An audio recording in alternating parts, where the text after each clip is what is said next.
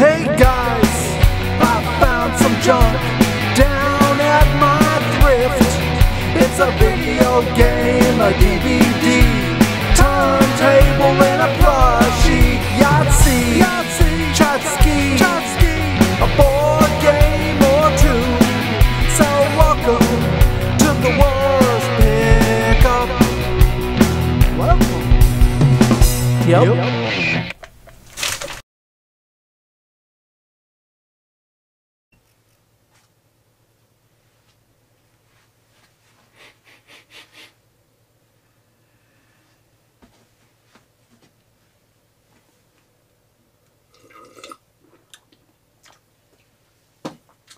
Rebel Gaming Club Worst Pickup Episode 17, Season 2. Welcome back, guys. I am Dan. This is a weekly pickup show of all sorts of media varieties. We collect everything over here. So if you, you're thinking like, oh, does he have a collection of tuners? Yes, I do have a collection of guitar tuners. I got a bunch of cool stuff this week. Like most weeks, right? I, I collect some pretty fun stuff, and you guys know, because that's why you tune in. I think that's why you tune in. I don't know. We got a package from Richard Brian Kahn. We got a package from CM Retro. You know, we just did that discussion, that open discussion about the community kind of coming back together. And that's always good to discuss those kind of things and try to bring the, the community back. And it was cool of him to think of me. So, CM, I always appreciate it. Why don't we just start out with the package from CM Retro right now? We got it right here.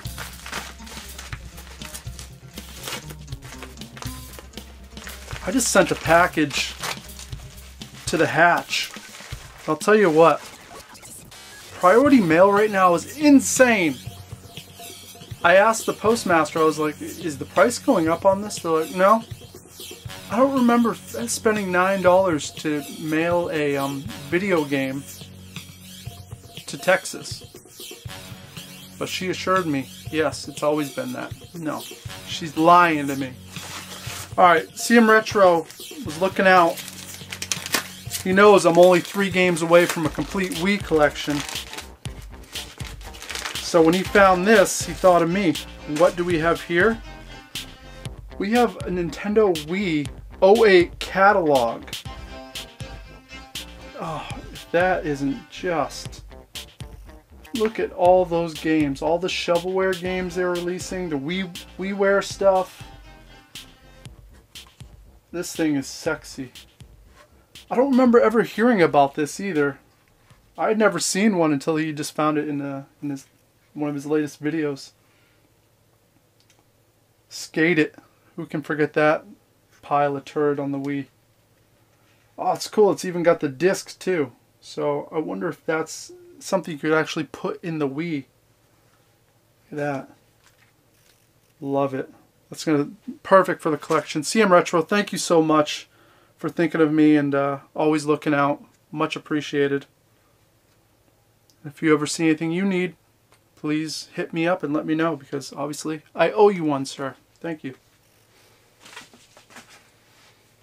All right. So we got another package from Richard Brian Kahn, but we're going to wait a little bit before we dive into that because beginning of the pandemic, I totally packed a bunch of stuff away because I was cleaning up. And now I just pulled it out and I found stuff and I like that when it happens because you forget about it and then you're like, oh my god, I got this. First thing we found was this natural doctrine. Look at this. Look at this. Comes with this little backpack here, which I don't know why they would come with a backpack because it's a strategy game, like medieval times and shit. But it did nonetheless. Fucking NIS doing some wacky shit. Let's see what else we got in here. There's the game. Still sealed up. And it also came with an art book. So not the craziest collector's edition of all time, but one that I don't really remember coming out. So I'm happy to have it. NIS is really fun to collect for. So we got it now. We got some thrifting finds. First up, Rayman 2. Wonderful platformer. I don't think I have this one. I think I got the first one. Now I got the second one. Found a copy of Donkey Kong Country Returns. Another good platformer. Found a PSP case. You hold all your Lucy's in it. Came with this uh, sampler disc. Thought that was uh, that was something, right? Stick it over there for right now. Uh, ordered this off eBay. I want the collector's edition for Lollipop Chainsaw. It came with like pom-poms and like a megaphone type thing for cheerleading. But it also came with this keychain. So I just bought the keychain because I couldn't find a complete um, collector's edition for under $100. Lollipop Chainsaw, easily one of my favorite games of all time and a game that I associate uh, me getting sober with because I played it all week when I was feeling like shit trying to get you know dried up. It comes with a boyfriend's head right there keychain. I think I paid like seven dollars for this. And just really it's a good piece for the collection especially since it has such a sentimental thing to me. Uh, ordered this once again months ago Everspace on the Switch. Uh, I believe this is a roguelike, randomly generated levels, space shooter, outer space, 3D. That's what I know. Uh, some GameStop pickups from forever ago. We got Scribblenauts Showdown, Dawn of Discovery, Pure Pool, Destiny 2, speaking of NIS, The Lost Child, Little Dragons Cafe, kind of like a Harvest Moon clone. Uh, I told you last episode about Maximum Games, right? Well, here's another Maximum Games. This is Car Mechanic Simulator. Um, I knew this was going to be a nightmare to find. Um, that's why I was I was on it as soon as it came out. Kept my eyes open for the first used copy that came in, and that's when I picked it up months ago. Because now this game, this was a budget title. I think it was like a $30 game. Uh, this is going for 60 bucks now. So keep your eyes peeled, guys. A lot of people aren't going to know but if you're a collector of this stuff, it's good to know if you want to flip it or just add it to your collection. Uh, we got Gun Gun Pixies. Still sealed up there from GameStop. Raging Loop, Day 1 edition. It's a graphic novel, I do believe. Whoa, what else we got here? Super Bomberman R. I bought this day one on the Switch and just hated it. But since it was uh, like 10 bucks, I snagged it up. Um, Atelier Firis. This is another one that, that's kind of bumping up in price on the PS4.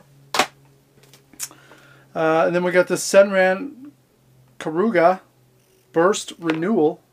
This is still sealed up.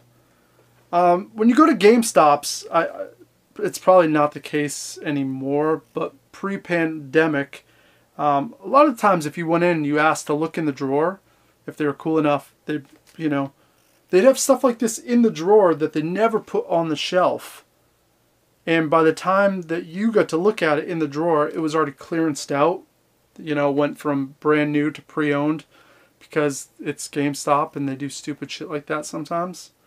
So all those sealed uh, collector's editions, I, I paid like half the price. I think this was like 15 bucks or something. Well worth it. Yeah, those the that's the video game finds right there. Um, ah, shit, there's actually another one. Yep. Forgot all about this too. We ordered uh, Trails of Cold Steel 3 on the Switch. Collector's Edition right there. It's got a sexy box. It's a series I need to dive into. Yeah, I don't know much about it. I know Jordan loves it. He's a big fan of the, at least the first one. I don't know if he started the second one yet. Uh, oh, we got some more. We got some thrifting finds. We snagged up this, uh, this, I like box sets, CD box sets. Swinging with Bing. Bing Crosby's Lost Radio Performances. It's like a 3 CD with the nice book right there. I found this and I found a bunch of other CDs too. So we're to cut to that real quick. Oh, so many CDs. Walt Mink, kind of cool alternative rock. Oh, The Jam, such a good band. Pink Panther, kind of jazz album. Frank Black from the Pixies. Sealed, Barenaked Ladies. Patti Smith, love her. Presidents United States, who doesn't like them? The Cult, another great album by them. I love Paul Westerberg. Uh, found some computer games. First, we found this Amazon Trail Third. I don't know. Never played that one. And we found Monkey Island and the Secret of Monkey Island. Uh, these are both for Mac. They're both complete. And um, yeah, they're kind of tough to come by. So I don't know what I'll be doing with these, but they are sexy, and I love Monkey Island's so much fun. So I thought that was a heck of a find right there. The girlfriend actually came across these.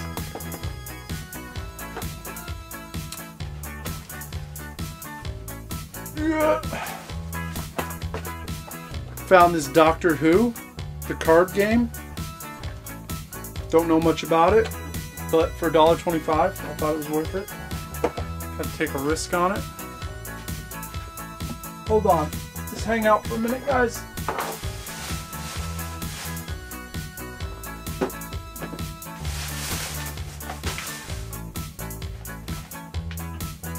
Coming back, coming back. Um, we found a couple games I needed NES-wise out thrifting. We got Freedom Force, which is a Zapper game, and I didn't have. It's nothing crazy hard to find, but one of those ones that I didn't have for some weird reason. We also found a copy of Punch Out. Now I had Mike Tyson's Punch Out. I didn't have the regular Punch Out. The cool thing about this is I actually have the box over there for it. So we're one step closer to completing the just Punch Out. girlfriend found this old Power Rangers lunchbox there from 94. Still has its thermos in there in great shape. You guys know I don't really care about Power Rangers, but a lot of you guys do. So that was decent.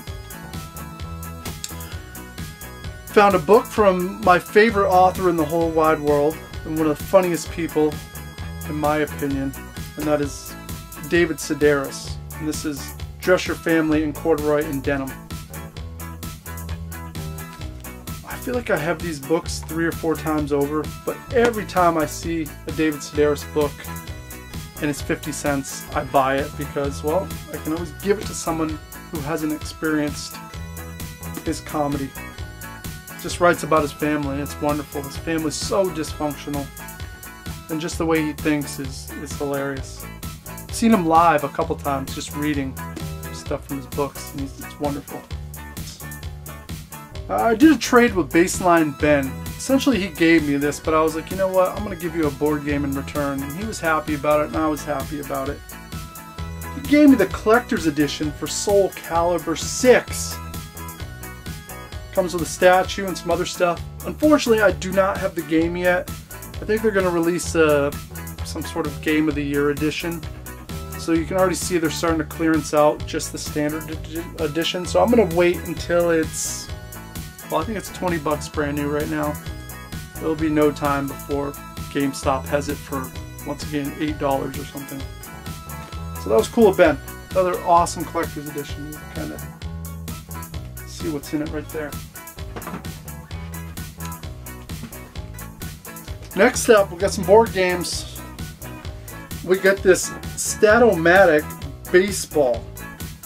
Um, any of you baseball fans out there, if you know anything, this is like the D&D of baseball. Super deep RPG. Um, you use real players, you use real numbers and stats, um, dice. Uh, the, the rule book, I've tried to play this and was so confused. Um, I'm sure it's a lot like some of these massive board games. It's very overwhelming. But one day I will master and learn how to play this and find some people who want to play Strat-O-Matic. This was a heck of a find. I think it was $1.75. These go for quite a bit, so I'm going to hold on to it though. It's going right in my collection because, well, I've wanted one for a long time, and now we got one. Also found some Harry Potter games. We got a Sorcerer's Stone game, A Mystery at Hogwarts. We grabbed Diagon Alley board game. I don't know much about that one. And the last one was this uh, Magical Beasts board game.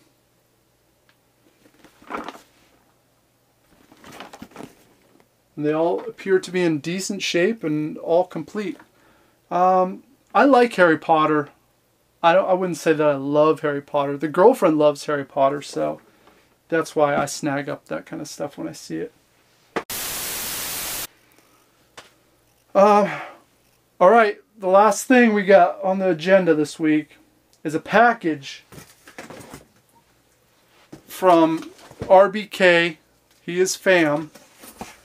And it's also from my buddy Bip as well, because he uh, he has a record store, and uh, he uh, put some records aside, and Richard Brian Kahn snagged them up from him and uh, threw it in a box and sent it to me. So, first up, Richard Brian Kahn, his uh, I believe his mother-in-law, hooked him up with her collection of Bob Dylan stuff. Uh, I think RBK likes Bob Dylan and he enjoys them, but he knows that I like I am in love with Bob Dylan.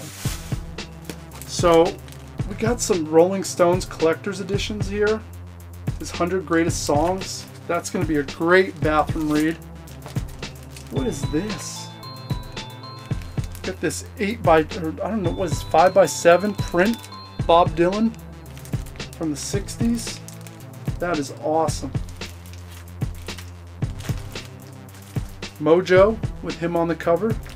I'm sure that's got some good writing in it. It still have its CD in it? No, it doesn't. Uh, acoustic guitar magazine. Awesome. So that's a great start right there. Yep. Well, we got some CDs. We got Bob Dylan, World Gone Wrong, which I don't know this album. And also, Good As I've Been to You. There was a period there for Bob Dylan, I feel like in the 80s, that it just wasn't good. It was pretty bad. So these are some of those albums. I can't wait to listen to them and see just how bad it was. Oh, man. All right. So we got here the Bootleg Series, Volume 4 from uh, Live 1966. On tour, when I was on tour, my band, the River City Rebels, me and, and uh, fellow bandmate would just rock these through the night. I was always like the navigator and he was the driver. You know, we're a duo. And um, God, we we knew these albums inside and out wonderful bootlegs. Live 75, this was the other big one that we, we really loved. And what is this? Together Through Life. I don't know this one. But it looks awesome. It's got a book with it too. Fam, you, you're hooking it up. Oh, a couple more CDs in here. Oh, we got a VHS. Uh, what is this? Hearts of Fire. I don't know this movie, but it stars Bob Dylan. And I'm sure it's from the 80s. Uh, Infidels, Bob Dylan album. Don't know it that well. Shot of Love, don't know it very well. And then we have live in concert from 63, which I don't think I've heard this one. So much new Bob Dylan to hear. I can't wait. All right, on to the vinyl. This is from Bip's store. Pulled this aside. This is Slik. Which kind of a um, bubblegum, glammy pop band. 70s Scotland, maybe? Olivia Newton-John's greatest hits. Can't go wrong with that. The Sweet. Uh, this is a, I believe, a collection that they reissued for the United States because, um, well, early on, I don't think you could get the Sweet albums in the States. It was just in England. Worldwide, that is. So, and Bip, thank you so much. I've already been cranking this one up and loving it so much. I love the Sweet. The Glitter Band. This is, uh, well, Gary Glitter's band. He, after Gary Glitter left, I guess uh, they released their own album, and it's wonderful. Got a little promotion there from the record store, from Bip Store. Shaun Cassidy, Born Late. Some bubblegum right there. Donnie and Marie, Songbook. The Osmonds. This looks like it's pretty late in the Osmonds' career. It's Brainstorm. So, yeah, that's it right there. Thank you so much, Richard Brian Kahn. Yep, you guys are the best. So much good music to listen to, and I'm excited about it.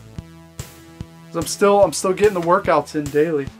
And what what motivates me is to listen to new music and I get to soak it in and get inspired to kind of keep creating and having a good time in life in general. Uh, that's gonna do it. I think that's gonna wrap it up. I don't have anything else for you guys, but thanks for hanging out. Let me know if you saw something in this pile of goodness that you thought was really cool or really neat. And until next time, uh, you know, you, you do what you do, and um, toodaloo. See you later. Ladies, this movie sucks.